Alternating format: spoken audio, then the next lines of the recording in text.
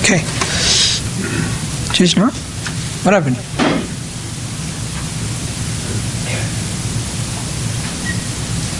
All right, we are in book of Genesis chapter 15. Genesis chapter 15 plays a very very important role where God reconfirms his covenant with Abraham or Abram. His name is not changed yet. His name is Abram and uh, let's look at verse 1. I really love uh, the story of Abraham. Now we need to remember Abram is called the father of faith. yes, he's called the father of faith. But how did his faith life begin? You know, when the disciples asked Jesus in Luke 17 and 3, they said, Increase our faith. So it means to say, in a believer's life, the faith increases.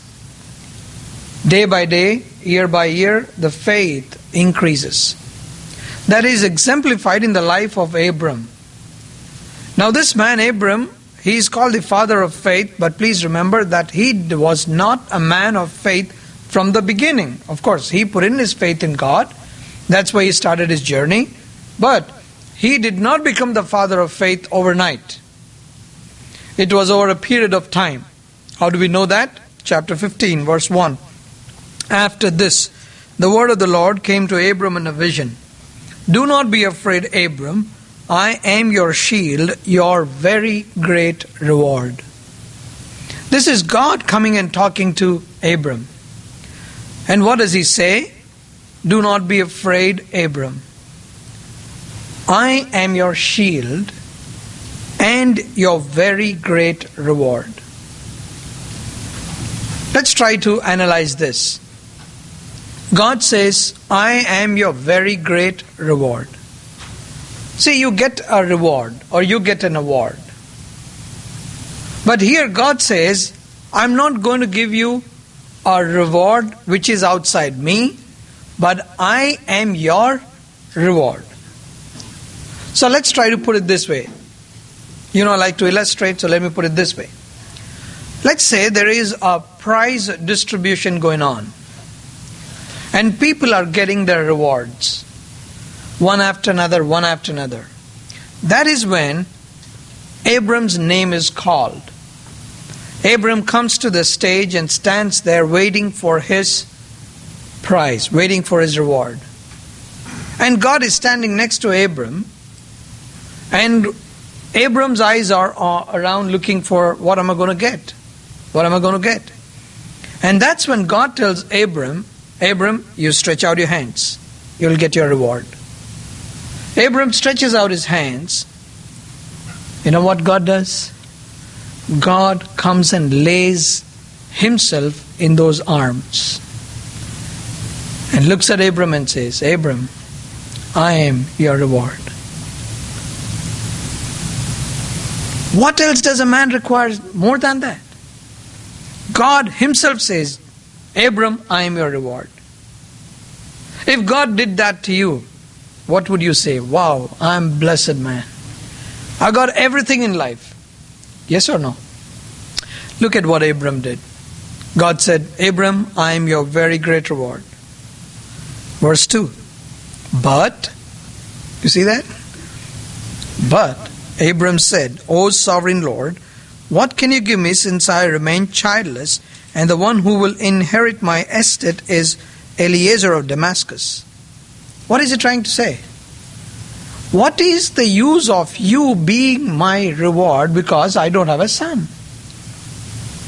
Now tell, if you hear such a statement, what on a scale of 0 to 10, where do you put this man's faith? God, the creator of the universe, the King of kings and the Lord of lords, he's telling him, Abraham, I'm your reward. When Abraham, in, in, in this Genesis 15, when God says, I'm your reward, Abraham says, So what? So what? I don't have a son. Materialistic thinking.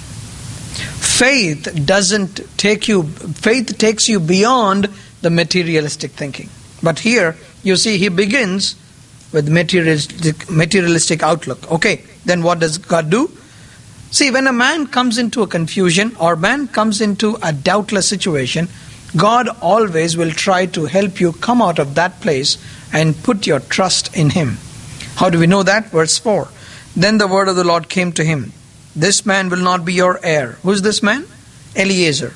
Will not be your heir, but a son coming from your own body will be your heir. He took him outside. Can you see the language? God took Abram outside. They are living in a tent, and God holds Abram's hand, takes him out, and what does he do? He said, Look up at the heavens and count the stars, if indeed you can count them. Then he said to him, So shall your offspring be. This verse, verse 6, is quoted in Romans chapter 4. What is that? Abram believed the Lord and he credited to him as righteousness. Okay? Now, can you define him as the father of faith? Hold on, don't be hasty. Look at the next concept. Verse 7. He said, I am the Lord who brought you out of the Ur of the Chaldeans to give you this land to take possession of it. The next thing God says is, You will have a son, right? Remember, God gave a promise to Abram at two levels. One was the promise of the son, or the promise of a seed, and the promise of the land. Promise of the seed and the promise of the land. Now, the promise of the land is coming up now. God says, I will give you this land. You know what Abram says? Verse 8. But Abram said, O sovereign Lord, how can I know that I will gain possession of it? You see? He's a, he's a slow learner. You call him. See, when God says, I am your reward, he says, So what? I don't have a son. God says, I will give you this land. He says, How will I know I'll get it? Right? That's usually how a person's faith journey starts. We know this man came to a point when he took the knife, was about to kill his only son on the mountain, did not hesitate. If you want to really know the beautiful faith journey, the growth in the faith journey, Abram is the best example. Let's go ahead. Okay, God chose him and then gives him a promise that after 400 years, these uh, verse 13 then the lord said to him know for certain that your descendants will be strangers in a country not their own and they will be enslaved and mistreated for 400 years. And then they will come back okay? They'll be they'll come back. Verse 16 in the fourth generation your descendants will come back here for the sin of the amorites has not yet reached its full measure okay there are two parts to this verse i want to talk now the first part is in the fourth generation, your descendants will come back here. What is he talking about? He is talking about what is the next fourth generation we are talking about? Joseph. Abram, Isaac, Jacob, Joseph. In the during the time of Joseph, what happened? These people came out of after Joseph uh, 120 plus years. They came to. They were in Egypt, right? They were in Egypt. From Egypt, they all came back with the help of Moses. So that's the fourth generation he's talking about. When they came out with uh, Moses out into the promised land. The second part is your descendants will come back here. For second part, for the sin of the Amorites has not yet reached its full measure. Where is he living?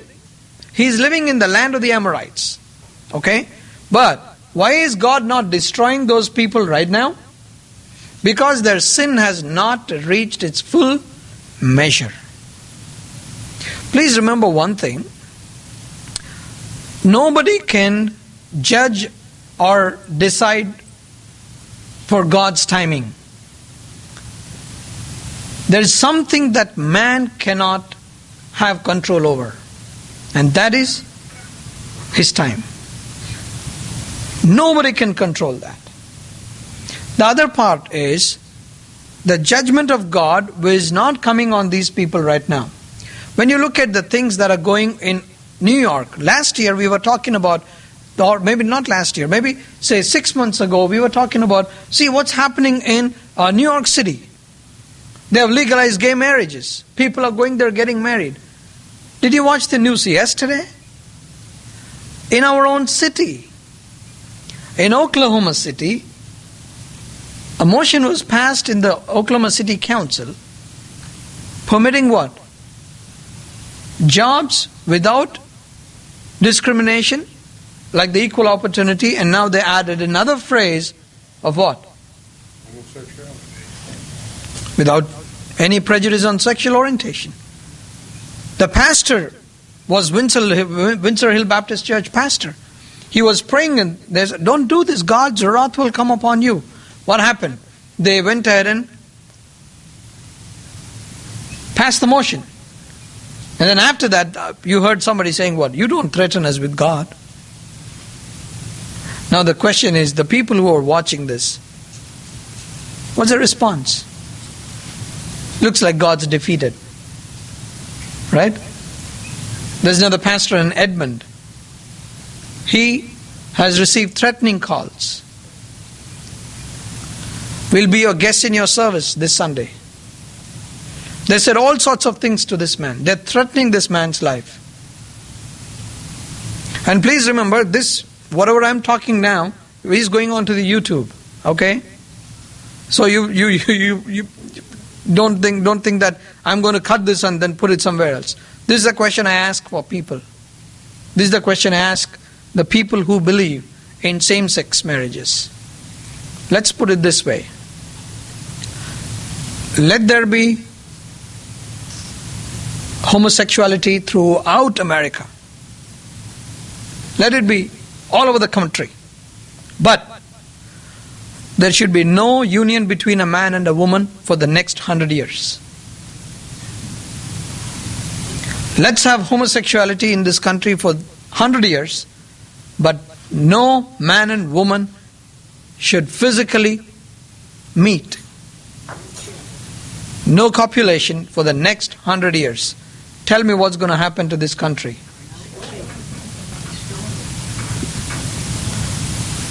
Why did God say man and woman then? Because there is no other way of proliferation of the human race. There's no progeny without God's plan, God's way of working. One after 100 years, if you follow this procedure, you know, one day in the newspaper you will read this. Once upon a time, there was America. You'll hear this. You'll read this. They cannot reproduce, but they can only recruit children. And what is God's promise? Go and multiply. And He also said how they should multiply. When God made a helper for Adam, He made Eve. And God is a superhuman, super intelligent being. You cannot challenge God's wisdom. We were talking about these things happening in some other part of the world. We have it right in our own city. Now the question is why is not God punishing? The answer is here. Look at verse 16. For the sin of the Amorites has not yet reached its full measure. But is God going to judge? Yes, He's going to judge. Okay, let's move on. Chapter 16. Chapter 16, this is where you find uh, Sarah giving, Sarai giving an advice to her husband. Okay, the advice is what? Uh, I don't think we can have kids, right? But why don't you uh, go and sleep with my maidservant? Perhaps I can build a family through her, Hagar. Now, where did Hagar come from? Where did Hagar come from? She came from Egypt. Remember, they went down to Egypt? Genesis 13, uh, I think Genesis uh, uh, 12 and verse 10. Abram went down to Egypt. From there, they picked up a girl to help her in the household, and then Sarah says, I mean, I really don't understand Sarah's logic. I don't understand her logic. See, there are two people here Abram and Sarah.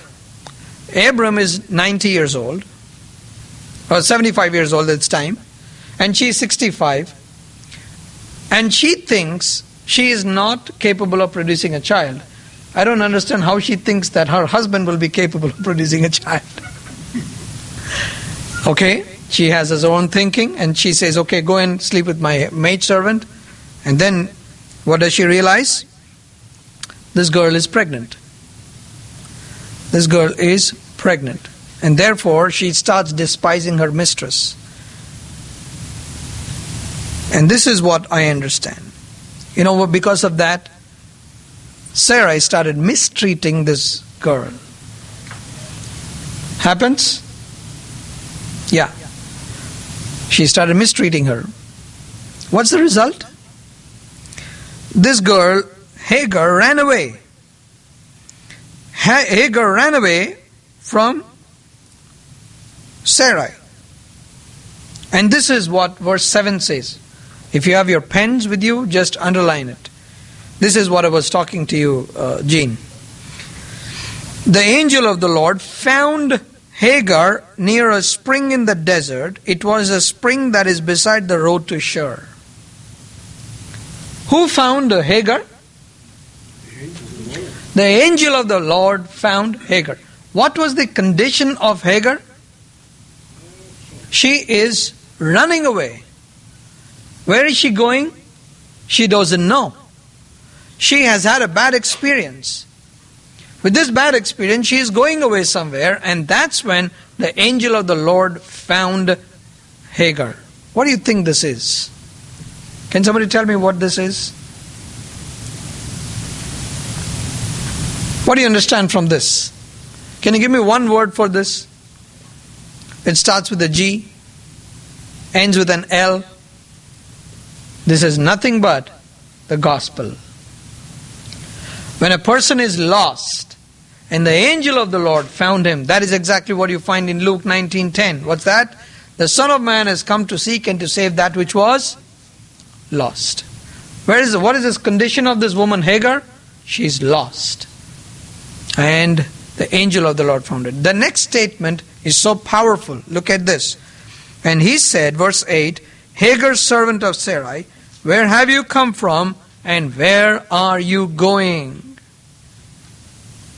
This is again nothing but gospel. Where are you where have you come from and where are you going? I don't know if you have some conversations with the people who are not saved. If you say, I don't know what questions to ask them, I can give you many questions. One of the questions is this one Do you know where you're going after you die? I tell you, we had a very great experience last week. We were coming from Dallas. We went for the meeting, and at night, around say 9:30 or so, we were driving back. And there is a live show, live program on uh, the radio in Dallas. And as we were driving back, I was think I was looking for this number for a long time. I didn't get it, but that day I got it. And then I typed in the number, and then I called this live show. In this live show, you can ask questions. And the question I asked was what happens to a person when he dies? And to my amazement, you know what? That guy received that guy received the question. And all the people in Dallas heard my question. There was a discussion for nearly 35 minutes on this question. This man wants to go to the next question, people are not allowing him to go. They said, I want to answer that question. Somebody said, when you die, you become a devil. Somebody says, death is the best thing. Then somebody says, let's not talk about death at all. Then somebody says, you're either buried or you're cremated. Nothing happens beyond that. And somebody said, there's an afterlife. I tell you, just ask this question to somebody. What do you think happens to you after you die? you probably might change their life. God will work and then He might change. And people will be interested to answer such questions. The angel asked Sarai, Where have you come from and where are you going? All those who accepted Jesus Christ as their personal Savior, they know where they are going. Today I know where I'm going. Even if I drop dead right now, I know where I will be. That's the hope that we have as Christians. That when we die, we will be in the presence of the King of Kings and the Lord of Lords. But there are so many people outside, those who don't know this, those who don't know where they're going. Okay, so this is one good question that she was asked. And then she said, I'm running away from my mistress, Sarai. Then God is confirming a promise to uh, Hagar. What does it say? Verse 10 The angel added, I will so increase your descendants that they will be too numerous to count. 11 You are now with a child, and you will have a son. You will name him Ishmael. What's the name? What's the meaning of the word Ishmael? You know what's the meaning of the word Ishmael? God hears. God hears. For the Lord has heard of your misery. He will be a wild donkey of a man. His hand will be against everyone, and everyone's hand against him, and he will live in hostility toward all his brothers. Who are we talking about? The Muslim world is come from Ishmael. It's come from Ishmael. Why is there so much of conflict up there? In Israel and Palestine and all these. Why are there so many wars? 1966, Six Day War. Why the Muslim nation should get together? Because God already said that. He already said that. Okay, what happened? Verse 15. So Hagar bore, she went back. She went back to Sarai. She, uh, so Hagar bore Abram a son, and Abram gave him the name Ishmael to the son she had born. Abram was 86 years old when Hagar bore him Ishmael. Okay? Hagar bore him Ishmael, and what's uh, at the age of what? At the age of 86. So at the age of 85, uh, probably that's when uh, he was not 75. When uh, Abram's um, and uh, Hagar they had a union, Abram was 85. So at 86, you find this is what's happening. Okay, 86, this man, uh, this boy, Ishmael is born. Okay. The next thing that you hear immediately after this is chapter 17 and verse 1. When Abram was 99 years old, the Lord appeared to him and said, Okay, what do you think happened in between? At the age of 86, when Abram was 86, Ishmael was born. When Abram was 99 years old, then the Lord spoke to him. This tells us that the God who spoke to Abram between 75 and 85 at multiple times did not speak to Abram for 13 long years. For 13 years, God did not speak to this man. We can be very quick to find mistakes with Abram. But this is what I want to ask. Are you and I in a same position like Abram, where we have not the, heard the voice of God? Let me put it this way. When was the last time that you heard God speaking to you? I'm not talking about attending the church. I'm not talking about uh, coming to a Bible study. I'm asking, when was the last time God spoke to you? Does God speak? Yes, He does. The question is, did you hear him speaking to you personally?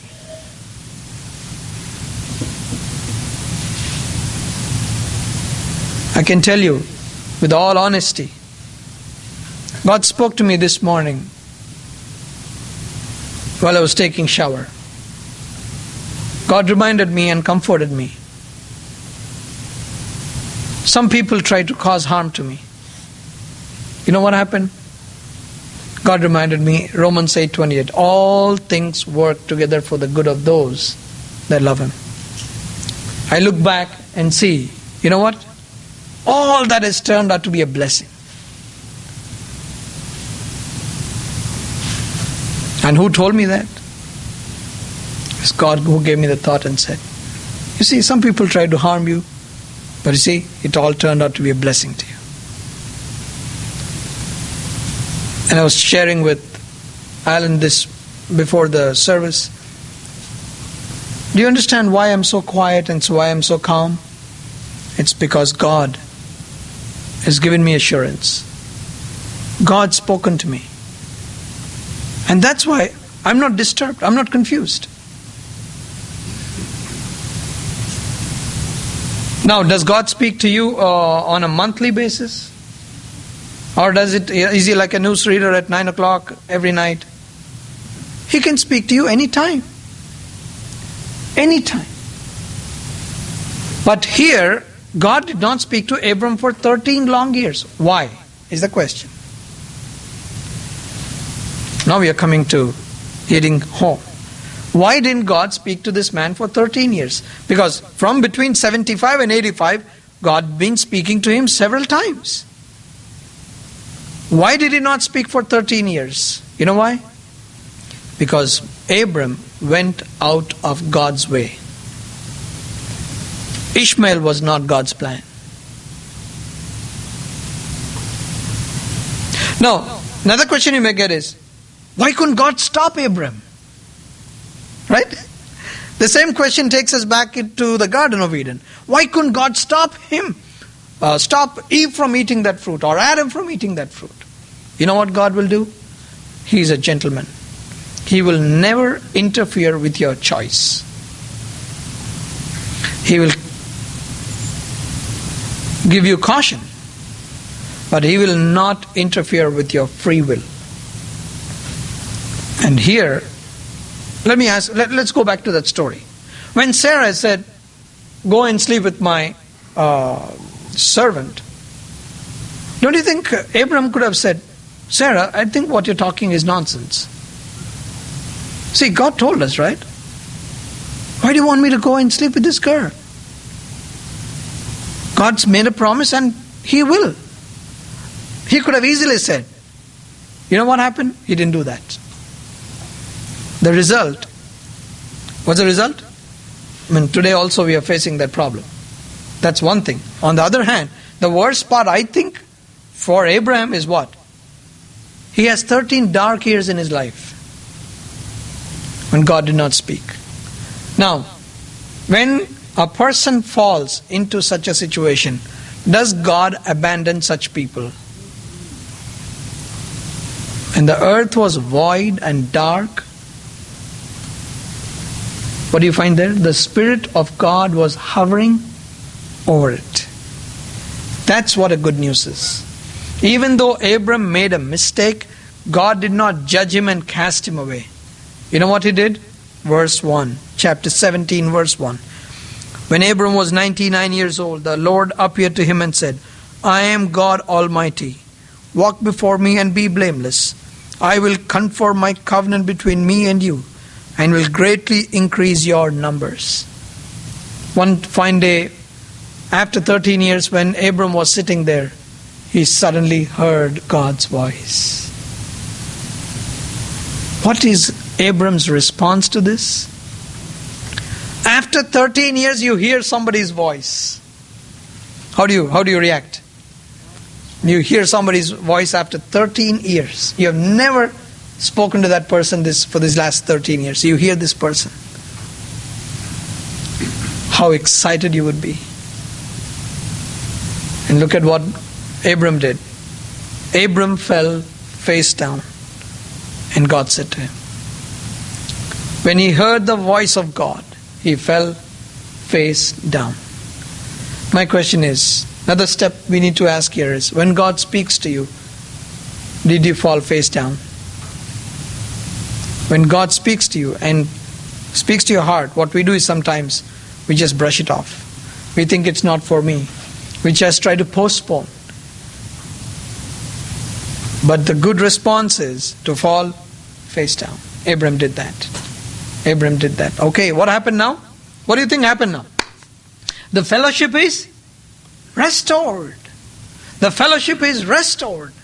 Now, God says, I'm going to change your name. Your name is not Abram anymore. Your name will be what? Abraham. Verse 5. Yeah, that's where the ham came from, is it not? No. Okay. Abram, the meaning of the word Abram is exalted father. The meaning of the word Abraham is father of many, is the meaning. Father of many nations. He said he promised him, right?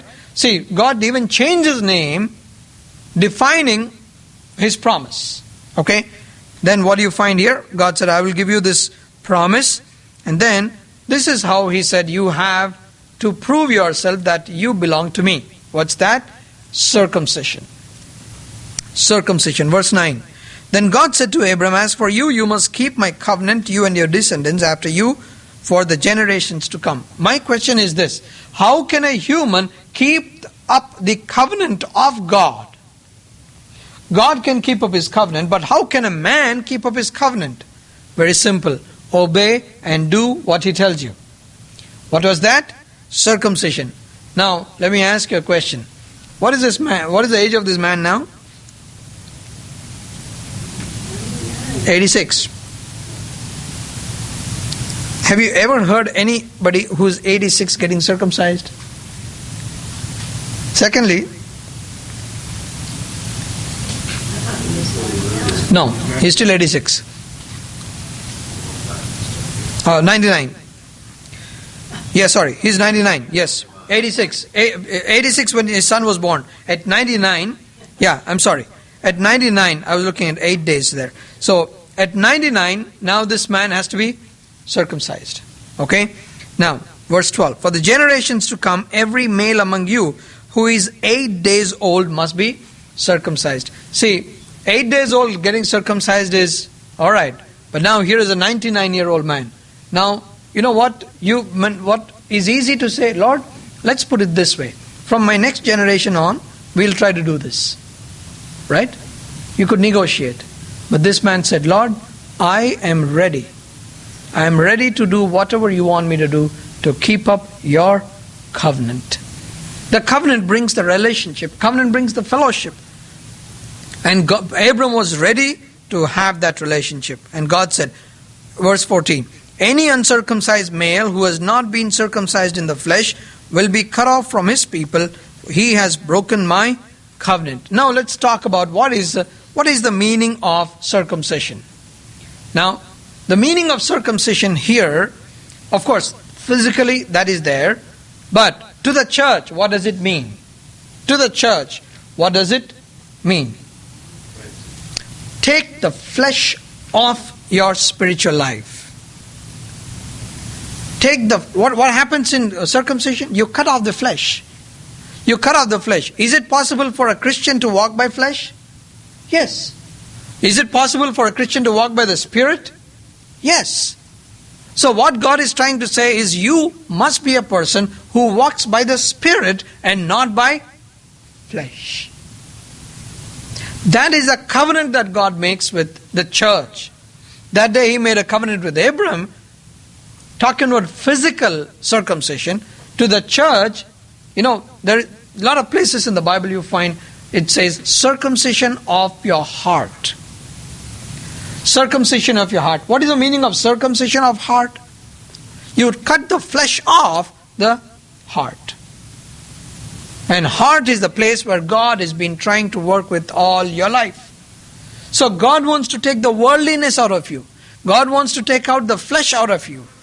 And that is what brings a good relationship between a believer and God Himself.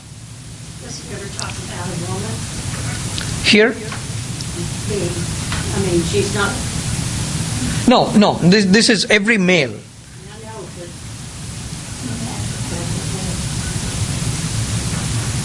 Yeah, but here, I mean, uh, I, mean I didn't know about that, but uh, I've never heard it. But usually it's the male, even by the promise of God.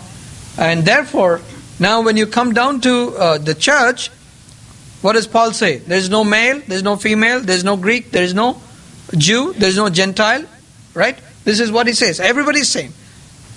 So, the primary idea for a church with respect to circumcision is you must not live by the flesh. You must not live by flesh.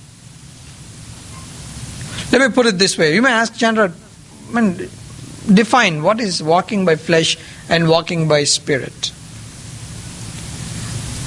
Let me put it this way. In the church, this is one example, you can give many, but I'm just giving one. In the church, there are people, right? One good place where you can have a lot of manpower is people. Okay? So, what did God say? God said, love the people and use the money. Yes or no? Love the people is what is important. And whatever resources you have, you use it for the people. What could happen is you find people doing the other way. What's that? They love the money and use the people.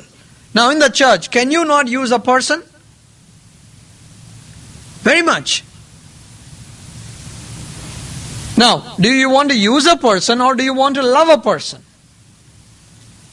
That's important. A person who is spirit walking person, he will love the people.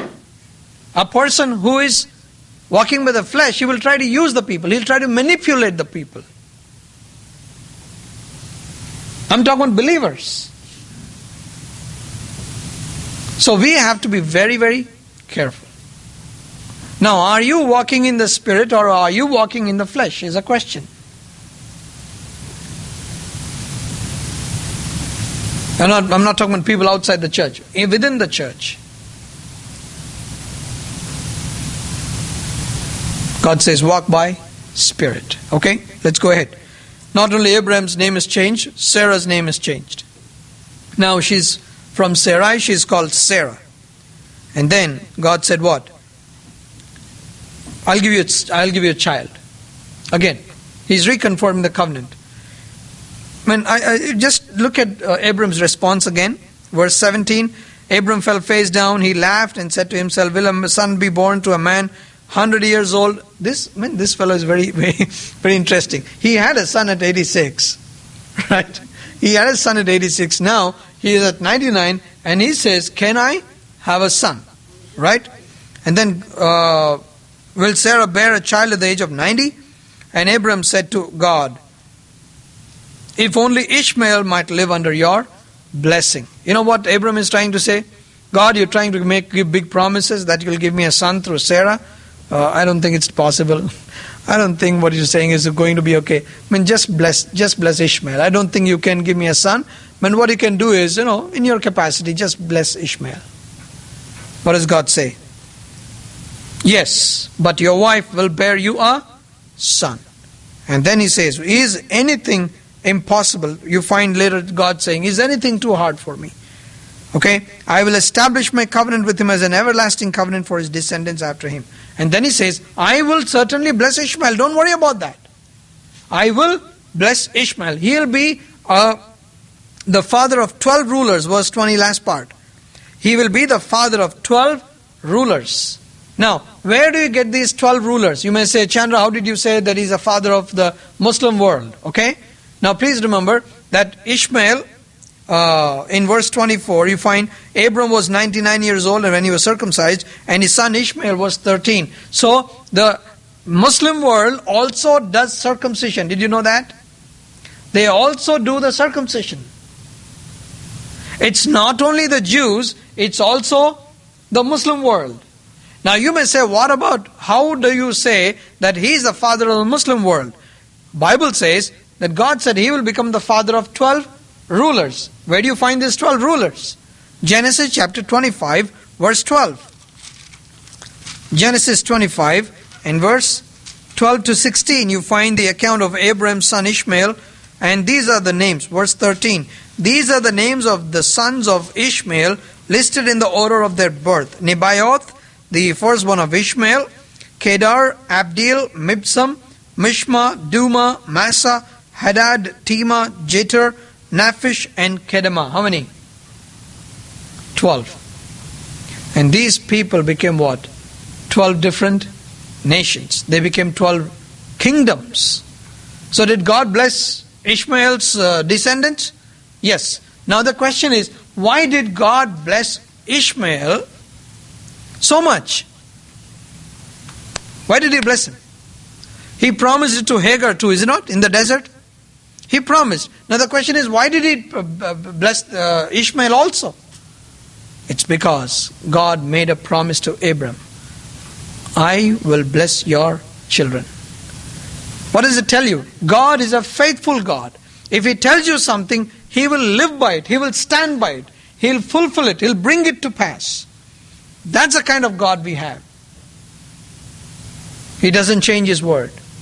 God is not a liar. God is not a man to change man to change his words. Whatever he said, he is going to fulfill it. That's exactly what you see here.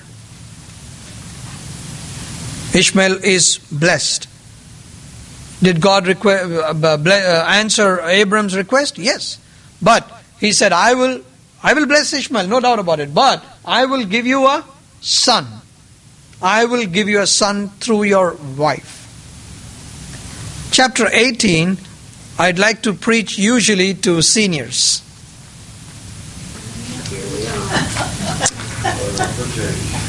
I'll read so you can get on with the lesson. This is for the seniors. Now, we all know now at this point, we are talking about a 99 year old man. Okay? A 99 year old man. His wife is 89. All right.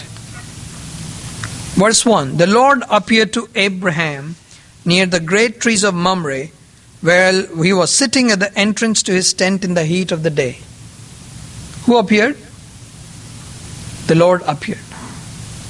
What was Abraham's response? Abraham looked up and saw three men standing nearby. When he saw them, he called out his servants to go and receive them. Is it not? That's what the Bible says? You would. Is that what the Bible says? Would. He hurried from the entrance to his tent to meet them and bowed low to the ground. He bowed low to the ground. Are you seeing the physical activity of a 99 year old man? He's running. Why is he running? Because he saw the Lord. He saw the Lord. There are three people who are coming. And what did he do? He went and hurried to them and greeted those people and bowed low to the ground. Okay? And he said, What? You need to come home and eat. You need to come home and eat. Verse 6. Verse 6. So Abraham hurried into the tent to Sarah. Now, can you just imagine? I, I, want you to remember the graphics, okay? I want you to remember the graphics. A 99 year old guy is running to an 89 year old woman. Alright? So Abraham hurried into the tent to Sarah. And what did he say? Quick! He said, Get three shares of fine flour and knead it and bake some bread. Now, an 89 year old lady is being given these instructions. What? quick. Right? So, what do you, what do you mean? What do you, what do you understand that quick would mean? Right? Okay. Verse 7. Then he ran to the herd and selected a choice tender calf and gave it to a servant. What did the servant do? Who hurried to prepare it. You know what I see here? I see a whole family running, no delay. For what? To prepare a meal for the people of God.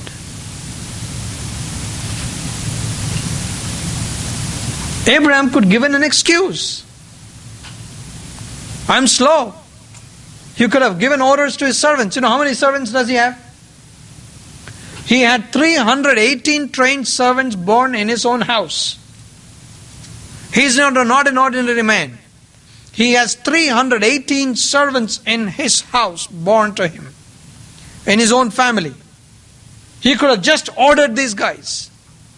But when God came in the form of three people, you know what happens here? He says, I want to go and serve these people. He hurried. Not only did he hurry, his, he made his wife be quick.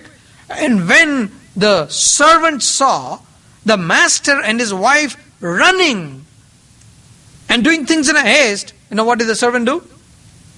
He also hurried. Did, did somebody tell the servant to do that? I'm big into leadership. So let me tell you here. This is a beautiful example of how you lead your church. This is nothing but leading by example. Your servant will run if you run. Okay, will your servant not run if you sit in your chair and then order? He will. But here, he was not told at all. The servant was not told to do anything. He was told to do something, but the way he did was he saw his master and wanted to imitate him. He wanted to please his master. That's what you learn from this. The whole house is running. Now, 19 year old man running and choosing a calf, running and telling his 89 year old wife, Quick, make some bread. And then he goes and gives it to his servant. The servant goes, runs, and prepares this curry. What do you find here?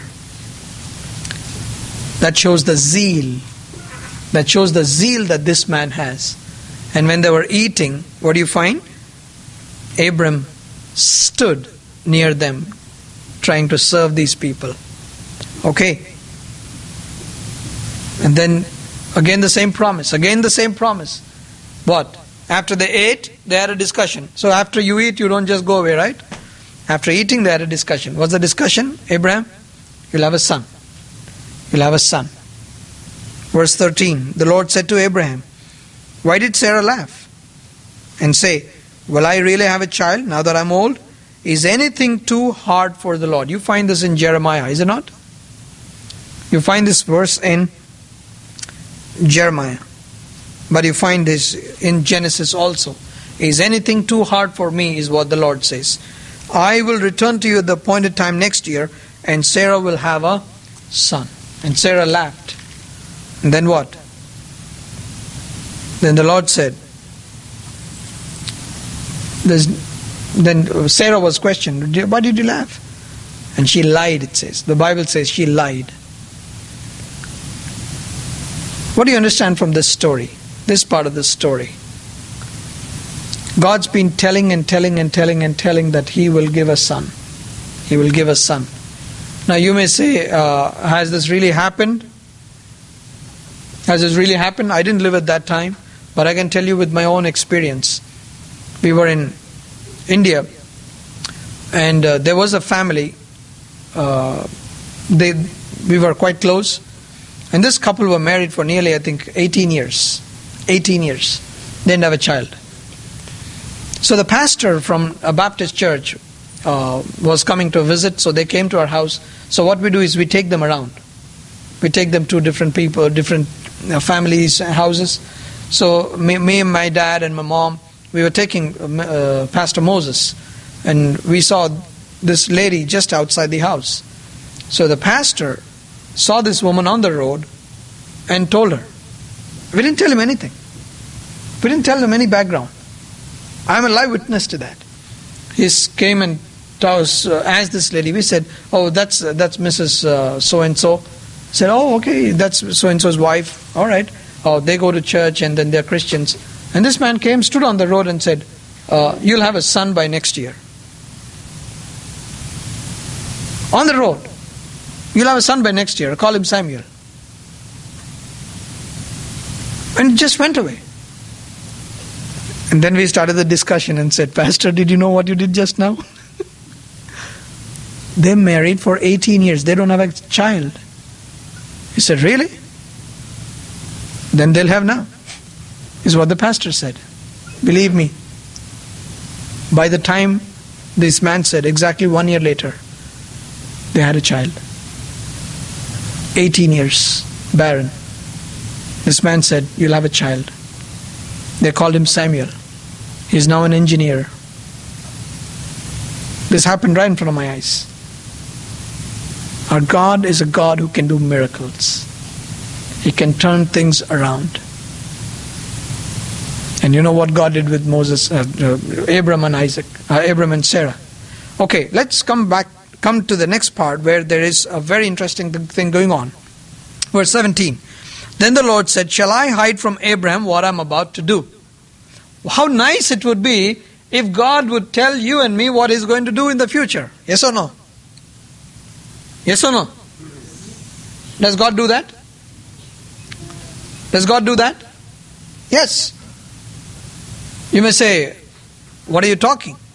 When the disciples asked Jesus, Tell us when these things are going to happen, when your second coming will be, did Jesus answer the question? Matthew 24 and chapter 24 and chapter 25 is what? Nothing but the Olivet Discourse. That's where Jesus told what is going to happen, how things are going to happen, how we have earthquakes. Why do you think we have earthquakes today? In Oklahoma City. We had earthquakes last week. Why earthquakes? You know, these are all talking about what? Jesus already told them what's going to happen. Our God is a God who owns the future. Our God is a God who owns the past and the future and everything is a timeless God. And He will reveal it to His children. And this is what He's talking here.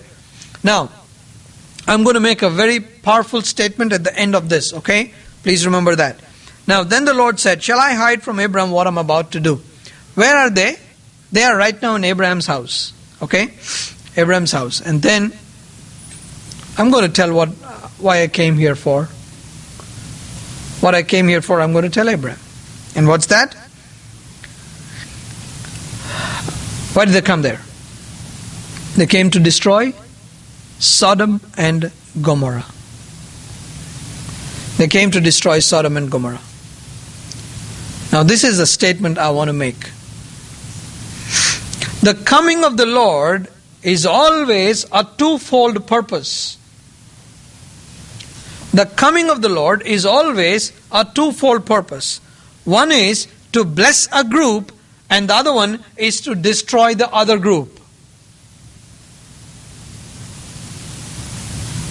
You take this and apply to any time in the history, you will find this true. One group is blessed, the other group is destroyed. Now look at what happened. When the Lord came here, is Abraham blessed by this coming of the Lord? Yes or no? Yes. Now what's going to happen right after this? There'll be fire and brimstone coming down on Sodom and Gomorrah. So one coming was a blessing to a group, and the, uh, the same coming became what? A curse to the other group. Now look at Jesus Christ. When he's going to come back again, there'll be one group who will be rejoicing at his coming. There'll be other group who will be beating their breasts. Right? So this is what God is trying to do. And therefore, in order to because of his love for the people who are inside the place where they're going to perish, he's already telling this to Abraham. What? hey, you know what? Actually, we came to destroy these guys. We came to destroy these guys. Then Abraham says what? Abraham becomes an intercessor. Last Sunday in the church, in the international church, this is what we talked about the power of intercession. The power of intercession. I shared this last uh, Sunday. Let me tell you also as a small tidbit. What is the best practical example of intercession? the best practical example of intercession. I don't want those who heard it to tell this. The best practical example of intercession is the story in Mark chapter 2, where the four people who picked up a paralyzed man and pulled the roof over and then dropped this man right in front of Jesus. That is nothing but intercession. This man is helpless. These people carrying this man want to bring him where? In front of Jesus. How does this man walk away? With healing and also with forgiveness of sins. That is what intercession can do. When Jesus was on the cross, the first thing he said what? Father, forgive them, for they know not what they do. What is that? Intercession. Abraham is a great intercessor. He's a great negotiator. No wonder all the Jews are ne- great negotiators, right? You find Abraham negotiating with God. God says, I'm going to destroy these people. And here you have this question what if? Lord, what if there are 50 people who are righteous? Are you going to destroy all of them? God says, if there are 50, I won't do that. All right? Okay, next what? 45. If there are 45, I won't destroy. Okay, what about 40? No. Then what about 30? Then what about 20? What about 10? What if only 10 can be found there? He answered, For the sake of 10, I will not destroy it. When the Lord had finished speaking with Abraham, he left and Abraham returned home. My dear brothers and sisters, in the whole country of Sodom and Gomorrah, there were not even 10 righteous people. There were not even 10 righteous people. We are talking about a period which is way, way, way, thousands of years back. Thousands of years back. That is how the condition of the people has been. 10 people. There's another place. There's another place where God says, you know, I will use a candle and search for the people. I will use a candle and search for the people. Let me show you Jeremiah chapter 5, verse 1. Go up and down the streets of Jerusalem. Look around and consider, search through her squares. If you can find but one person who deals honestly and seeks the truth, I will forgive this city. Did you hear that terrible statement from God? If there is how many? One person who deals honestly, I will forgive this city. And because Zephaniah, he says, chapter uh, 2, uh, chapter 1 and verse 12, at that time I will search Jerusalem with lamps. When do you use lamps? When there's no light. You use a lamp. You, you're so focused. You want to search. What did that woman do who lost her coin? She searched the whole house. Here you find a very pathetic situation. Not even 10 people who are righteous. There's one more interesting thing I'll tell you, and then we'll continue this in the next class. Okay? Chapter 19 and verse 1. The two angels arrived at Sodom. Okay?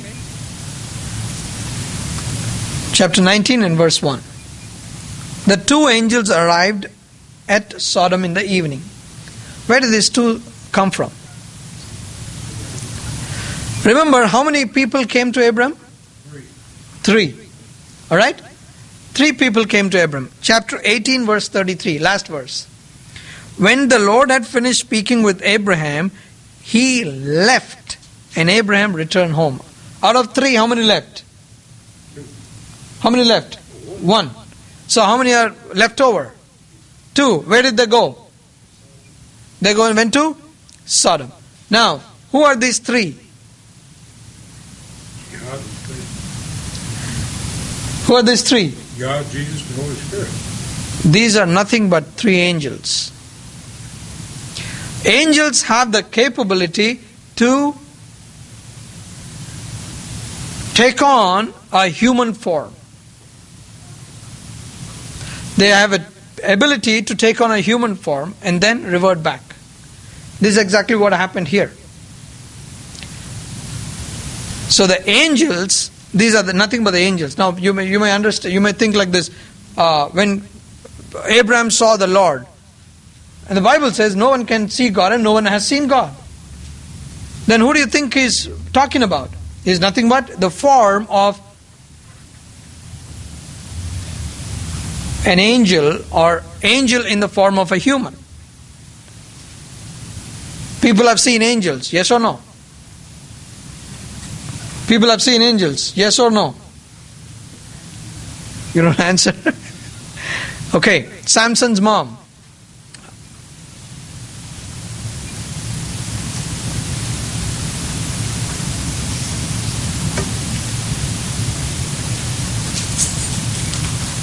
You know, there are some people who are, uh, uh, what do you say, promised. They were promised by God, and then then the child came. Yeah. Okay, I think we need to refresh. We need to refresh. Okay, let me show you this.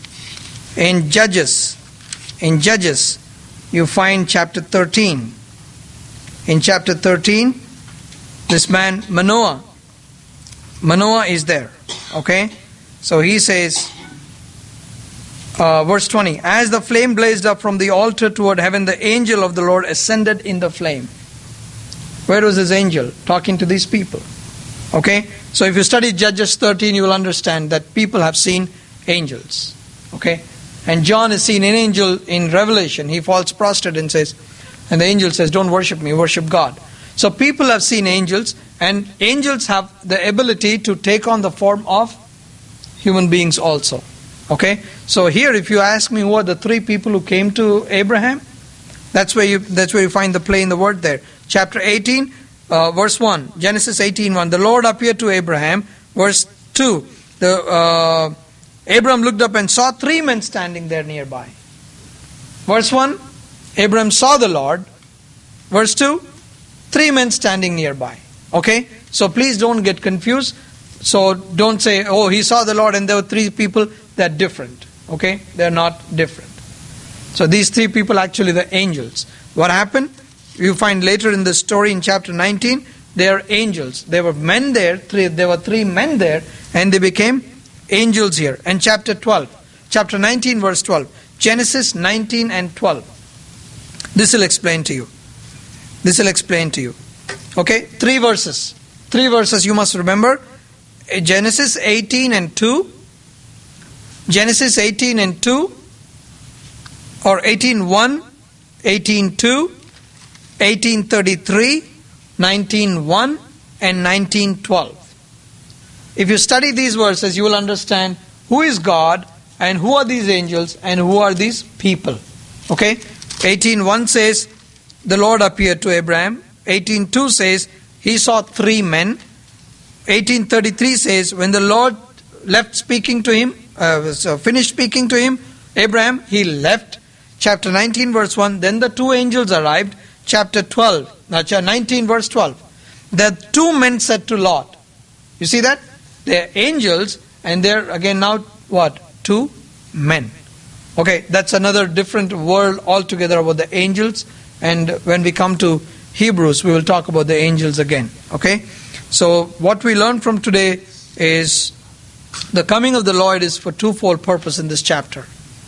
One was to bless Abraham, the other one was to destroy Sodom and Gomorrah. And the coming of the Lord in the future is also with the same pur- purpose. Okay? Alrighty.